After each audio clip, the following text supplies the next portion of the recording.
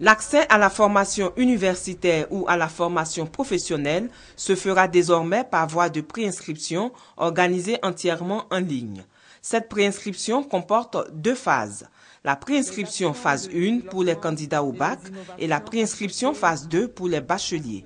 L'objet de ce point de presse est d'informer les candidats au bac et les parents d'élèves du lancement officiel de la préinscription phase 1. Cette phase, appelée phase d'enregistrement, a pour objectif de permettre aux candidats au baccalauréat de la session 2014 d'opérer des choix de formation et de filière, soit universitaires ou professionnels, avant l'obtention du baccalauréat. Cette préinscription en ligne est obligatoire, entièrement gratuite et se fait sur les sites www.dores.educ.ci ou www.doresci.net. Elle se déroulera du mardi 1er avril au vendredi 20 juin 2014.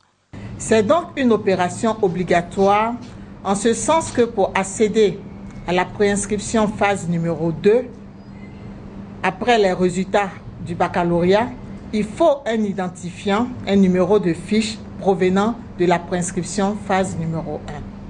Pour mieux sensibiliser les élèves sur les réformes entreprises à l'enseignement supérieur, une documentation de ces réformes dénommée le guide de l'étudiant est disponible.